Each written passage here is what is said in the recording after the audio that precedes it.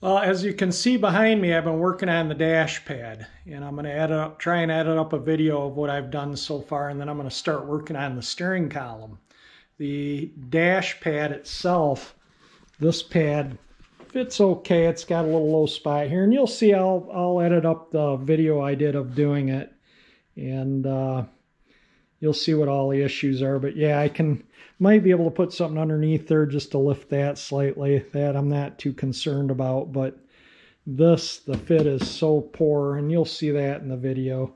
And I talked to Eckler's where I got this from, and uh, they're sending me another. They told me to do a return. I've been on the phone with them three or four times, probably close to two hours of time on the phone with them, and uh, finally got them to agree to exchange it, you know, and I don't know if the new one's going to be any better or not. I mean, the, the quality fit is the poorest I've ever It's not usable.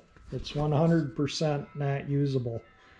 It just doesn't fit. But anyway, I'm going to edit up some some video and then we're going to tear into the steering column. So just kind of wanted to put a video up, let you know I am working on the car. I'm not doing nothing. I'm just kind of at a standstill from this instrument pod fiasco, you know, the dash pad fiasco. You know, that what I've I've I could send that to Just Dashes and have it redone, but I've heard some horror stories on costs. You, they give you a price, you send it to them, and then they do it, and then they give you a whole nother price that's three times higher. And uh, I'm not into dealing with people like that. I've had several people tell with the same same exact story. They say they do stellar work, but they're slow and they price gouge. And uh, so we're going to try and uh, see if Eckler's will get this straightened out with a better one. And if not, we'll go from there. I'll, I'll worry about it from there. I can install a dash without this pad. That's not an issue and I can get this one all glued up on here and uh, reinstall this in the car less that. And if I if all else has to I'll just eat it and send that to, to Just Dashes this I think I said in the video weighs quite a bit more than that one because that one's uh, I think PC, uh, PVC or ABS or something that it's molded over and that one's steel. And uh, that one actually fits here pretty good. So and I think that's in the video too. But this is the next day. You know like I say I've been talked to him twice on the phone at length yesterday and once against again today. So hopefully we get this uh, straightened out. I'm gonna box it up send it back and when I get the new one we'll we'll try it out. And hopefully it works. That by that time this should be in the car. So I've been getting a few things out. I got the speaker grill. I picked up some uh, contact cement as you remember when I showed you know it was just brush painted on here with contact cement to hold the pad on and I picked up well I didn't I found I went to the hardware when I bought that and I was short on some foam brushes, so I bought a few foam brushes, and I got home and I found my whole box of stuff. But this is the size brush I'll probably use. These are the little clips where that molding attaches. So I'll probably put these back on before I install a dash. These are all hold the dash in the car. I ordered this. This came in. This is for the speedometer cable. And true to Murphy's Law, right after I received that, I was when I found my paint brushes there, I found my speedometer cable lube, and I have about six of these. I uh, bought them at a swap meet some years ago. I think I gave the guy, I don't know, 25 cents a piece for them, and like I say, I got six of them. And uh, this works pretty good on speedometer cable uh, cables. I used it on uh, the Bel Air and uh, it's it's local here. You can see there, Livonia, Michigan. So this is a local product here. This Livonia isn't too far from me. I'm about 15, 20 minute drive from Livonia. So I'll probably use this as what, you know, this this is new. this is old, but this is pretty good. I don't know. We'll see. We'll see. This is unopened. I may may open it, may use it. We will see when I get to that point. I'm going to lubricate the speedometer cable before the dash goes back in. And I got my liquid chrome paint too. And I'm going to paint all the chrome at the same time. So when I get the steering column apart after the dash is in, I'll tackle this. I just got too much going right now. So when once the dash is in, I can work on getting this off, that off, paint all this stuff up. I'll paint this because this will have to go on before these two go back on. And I'll paint that and that bezel at exactly the same time. Hopefully it turns out good. But anyway, today is I'm going to clean the junk out of the trunk and uh, get that dash pad out and start cutting it to fit, you know, so it's, it's quite a bit longer. I, I say people ask me why I tried to take this off in one piece without destroying it. There's two reasons why. One, I can use it help me template or pattern, make sure I get the new dash pad trimmed correctly. And two, I've had about five people ask if they could have it because it's better than what they have by leaps and bounds. And that is the main reason why. And as far as who gets it, I'll probably have put some names in a hat and pull them out, and whoever I pull out will will get it. But I have had numer numerous people ask if they could have that uh, old dash pad. So once it's all done, then I'll work on uh, you know getting that off, and it will go in the box the new one came in to ship. And I doubt shipping is going to be cheap. Wh- whoever gets the hat draw, if they don't want to pay the shipping, I'll draw someone else's name until someone's willing to pay the shipping. Shipping is just horrifically expensive nowadays since the pandemic. Wouldn't it be nice as easy as if it was to put the old uh, cover back on? Well, we got the new one out here and we're going to open up the box and start uh, fitting it up. I had carried the box around here from the trunk and I had those bits and pieces hanging from the light fixture. And this one I knocked down, it was hanging here and it hit my finger and put a huge gouge in it. So I had to raid the first aid kit. Yeah, blood pretty good. It felt like I got an electrical shock. Fortunately, it hit here and didn't hit over here on anything. I was really lucky. So I took everything down that was hanging above the dash area so nothing gets knocked down on it. That's the last thing I need. So I'm going to try and uh, put this thing over, rest it on something on this here so it sits fairly the way it sits in the car. Here's the new pad and you can see how much further out this goes than what it needs to be. So looking at the original pad, you can see the original markings and you can see how it's trimmed out around the defroster ducts. And there's also a number right there, does it? Let me see if I can wipe it out and we can see what it says. There we go. It looks like, I'm going to guess it says KZ21066. That looks like a Z. I don't know, it might be a 7, but no, it's definitely a Z, maybe. I don't see if there's yeah, there's no numbers on this side down here. But that is the number there. Maybe I'll, I don't know, save that or not. But I doubt it. We'll leave that on this pad for the, the next owner. You can see where the trim that goes on here. So all this is covered to here. Well, actually a little further, but but I still want to get this as neat and tidy and original as possible and this one has I don't know if these are gonna this one has five bolts here. And this one I think had three holes in the dash and two bolts holding it on. Yeah it's got three holes in the dash. So we may have to do some things there with that and you can see how they just used two bolts. And these don't look like they can be slid in here. Oh, a little, looks like I can slide out the ones I don't need. Okay, yeah, they're in there.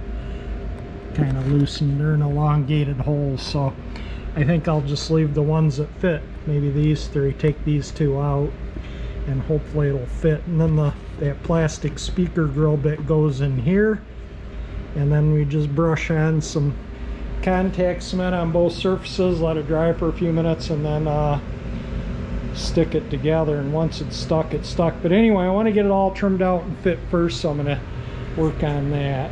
I got to go and find a good pair of scissors and get a sharp exact or a razor blade out.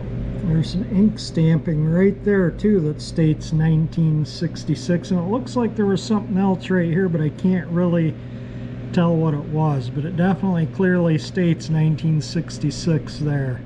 I took the nuts off and these don't slide out and these look like they'll line up with the holes in the dash. So I'm going to cut these off with my Dremel very carefully. Pull them out as far as I can so I can whack them off as close to this as I possibly can. You know, I've never done a dash pad before. This is a first. So we're going to learn together and hopefully I don't screw things up and there's nothing really on YouTube for replacing one of these. And these really, when they when I bought this, they tell me they're not show quality and they're really not. There's some minor little, the other one was really bad. The first one I got, I sent it back and then they sent me this one. And then when I got it, I noticed a little imperfection there and a little imperfection there but they said they won't wouldn't take it back again. They told me either return it for a refund or I'm done because and there's only one company that makes these. Yeah, everyone says just dashes, but one supplier supplies everybody, so it doesn't matter where I get it from.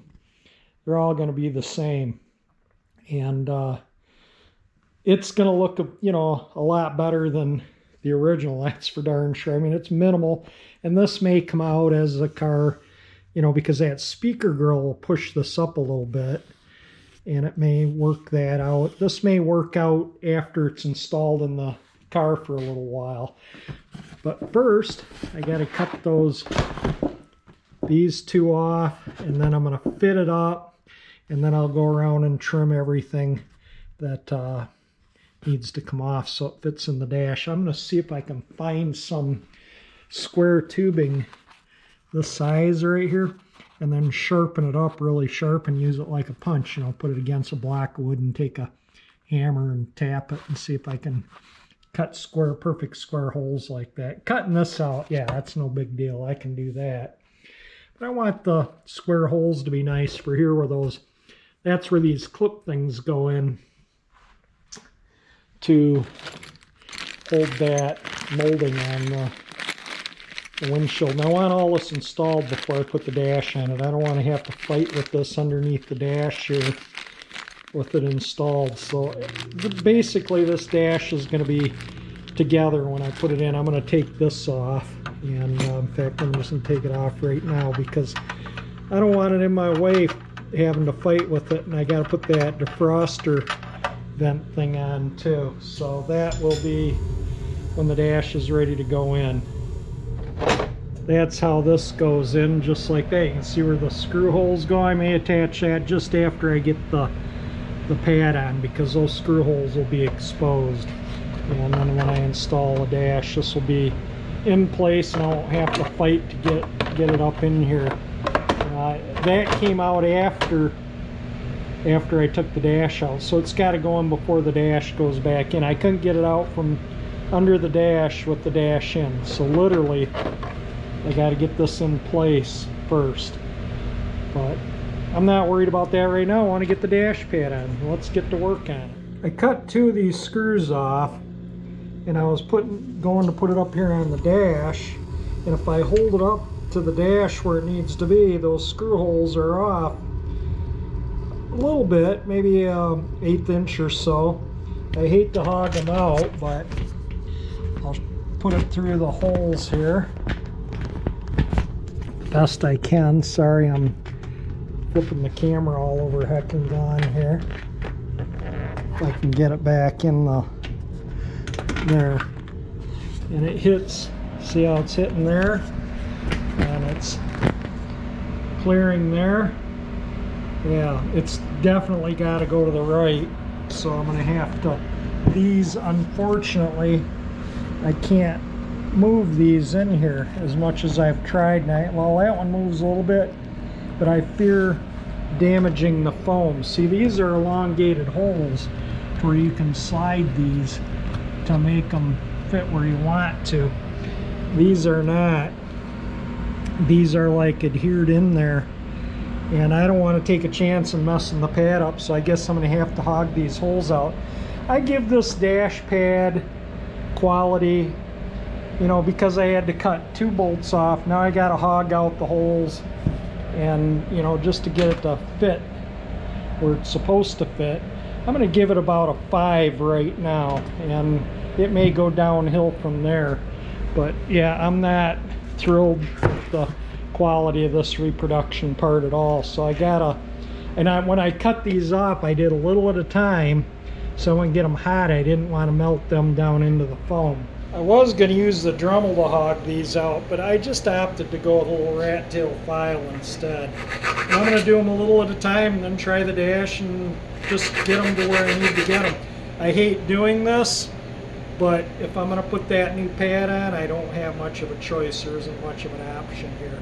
The holes are hogged out. As much as I hated to do that, that was about the only thing I could really do, short of not using that pad. So I'm going to go around and touch up all, uh, repaint the inside lip of the holes, and then let that dry for an hour or two, and then I'm going to start on installing the pad.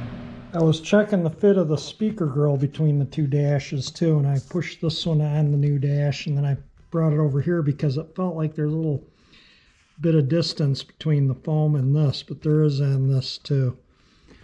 That's kind of the way it'll fit. This dash is bowed like that, and bowed, it's bowed like this right now, and it needs to be dished. This, this will be pushed you know, it'll be the opposite curve of what it is now. And when I held it up there, just held these through the holes, these screws without screwing them before I touched the paint up.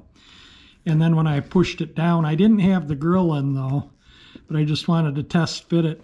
I just put the fasteners on this back side here, finger tight, and I got the speaker grill kind of sitting in that plastic thing. And you can see when I hold this down over how it bends over so I'm going to definitely have to clamp this and I got to really pull it to get this part here you know beyond where where um, that trim goes that trim if you look at this dash was coming right to the edge of this cutout right here. I mean it was right on the the edge of that.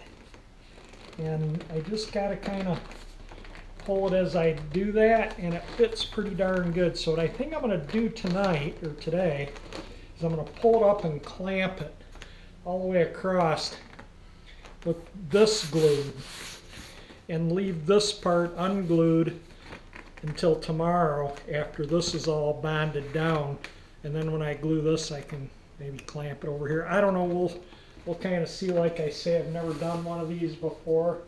But it looks like it's going to look pretty good. That bump really does mostly come out there. But I'm going to wait to trim it until it's adhered because I can just go from behind with a razor blade and, and cut it out. So that's kind of where I'm at right now. Um, it's not, you know, they're not, it's by no means a perfect match to the original. It's a reproduction, but it actually fits pretty good. I'm pretty happy with the way it looks. That'll be nice. And uh, anyway, let me uh, just horse with it here for a little bit. I might might clamp it for a little while before I glue it and just see how it settles. Can't get this trim obviously to set down on here the way it's supposed to because these tabs, but I can hold it up here and get a pretty good clue how it's going to look, and I think that's going to come out pretty darn good. Uh, um, you can see how it like pockets up though, so I'm definitely going to glue this surface first here. I just don't, you know, that I can, because when I try and clamp it, it, it pockets, so I'm going to have to glue this, and then I'll uh, glue this up here and that will glue much easier once this is glued. That is pulled up here as far as it'll go.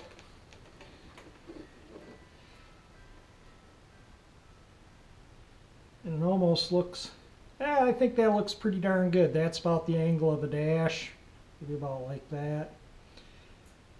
I'm pretty happy with the way this this looks here. So now it's just a matter of making sure it all fits everywhere else. The only problem I see is this end is not formed like it should be, so we'll see what we can do with that.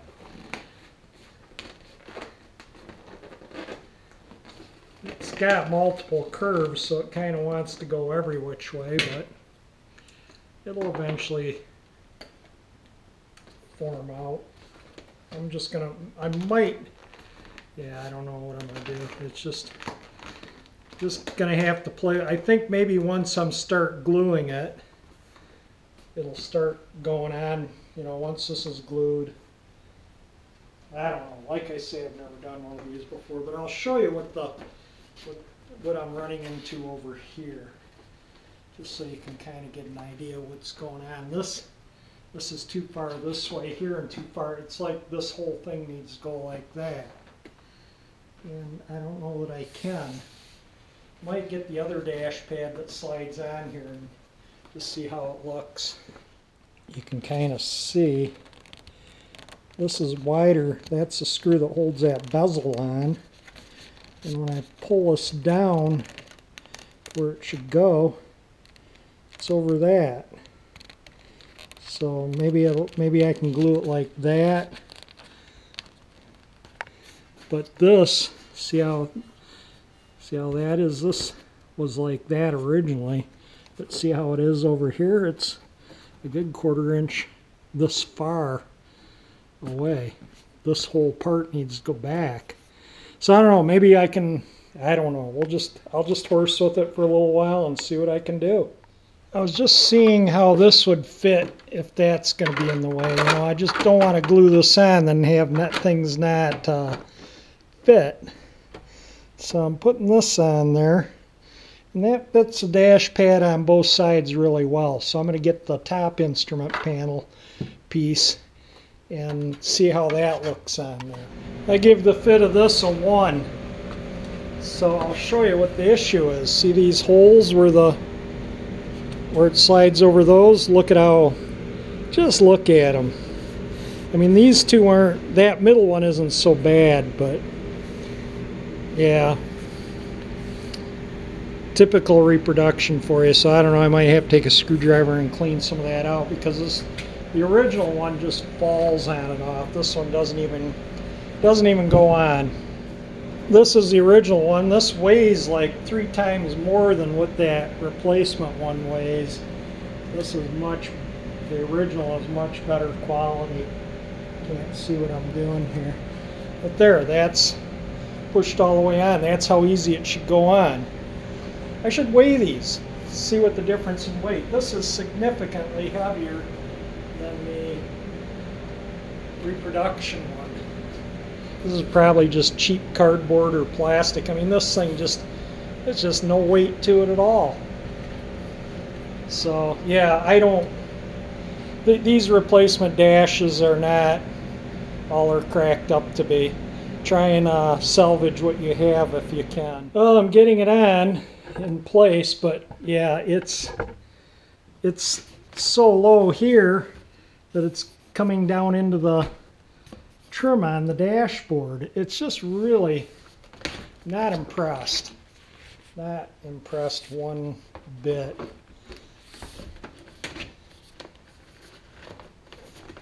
I can even take this pad totally out of the way there and I can't get that to be up to where it's supposed to be. I guess it's just a really poor quality reproduction part issue number one. See how it's tight there and a got a big gap and yeah I can push it really push it down and and get it to somewhat fit but that that isn't what the major problem is the major problem is back here and let me just kind of show you and it's touching here to about here. And that's about it. And then here, look at that. I can put my finger in between there. Then it's back to touching over here.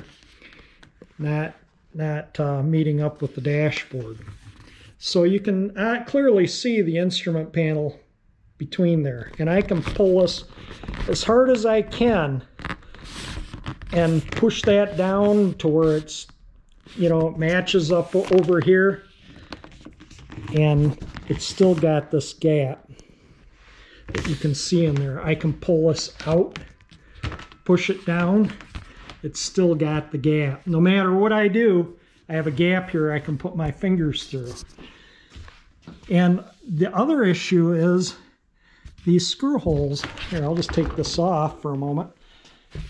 How do I know where, if these are exactly where they need to be? Look at that. That's even kind of lifting there. The, the vinyl is. But, you know, I'm, I'm, and it's lifting here too. It's coming, coming undone here. It's coming undone here. And how do I know if these are going to be where these need to go? You know, I don't want to have a bunch of holes here. Um, and again, I don't want to pay all this shipping costs. This one here is a lot heavier. I don't know what the deal is with um, with your products there, but this one is kind of twisted up, but it fits. It actually does.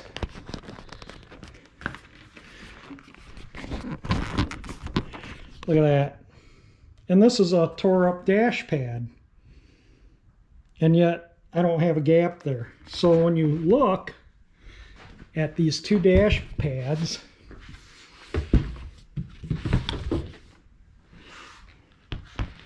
you can see clearly the original one has a curve. Let me get them kind of lined up here. You can clearly see the original one curves out more than what this one does. I don't know if I can how I can show that any it doesn't really line up like that but it you can physically see it when you're standing here looking at them this actually is more pronounced like that than what this one is. So I just want this to to go on you know I haven't glued this pad on yet because I wanted to fit everything up before I did anything. And that was another thing too was these there's five screws that hold this on this pad and there was only three in the dash so I had to cut two of them off because I'm not going to punch more holes in my dashboard. And to get it to fit I had to elongate these holes because these screws don't move in that channel at all unlike the original ones. See how you can move them so that way you could get the dash pad lined up this was actually overhanging to about Actually, I take that back. It was that way too far. And I had to hog the holes this way to get that to fit. But that's not my problem. I, I'm pretty sure I can make this work. This is the second one of these you sent me. It does have a imperfection right there. Does it show up? So it's not perfect, but this, this is unusable. Completely 100% unusable just to give you the heads up, I am going to wait to glue this up until after I get the new, the next dash pad, just in case there's any issues. So it may be a couple of weeks. You know, they're saying Wednesday. I shipped the one back. Wednesday they should have it. Who knows how long they'll take to get the new one off. But it'll probably be a minimum of a week, I bet. And so it'll be couple weeks before I start reinstalling this. There may be some far and few between videos because really I'm waiting on the interior. I'm getting excuses on that now. And, uh, you know, the interior kit I ordered, I'm starting to get all, you know, they have people off from COVID and stuff, which I suspect is could be very well true, but it's been a month beyond what they promised now on shipping. And, uh, I know how that goes. So who knows when that'll be here. I might just clean the original up and put it back in. But this, uh, this I'm going to wait to glue up, like I say, until I get the a pad that's a little more better fit or something I can make fit. I just don't want to glue this up and then have to rip it off again. So that's kind of where I'm at. I have to say thank you for watching this video in particular. And uh, if you like the video, hit the like button. If you want to see that dash eventually done up, subscribe to my channel by hitting that 348 icon that pops up there. And thank you for watching my videos.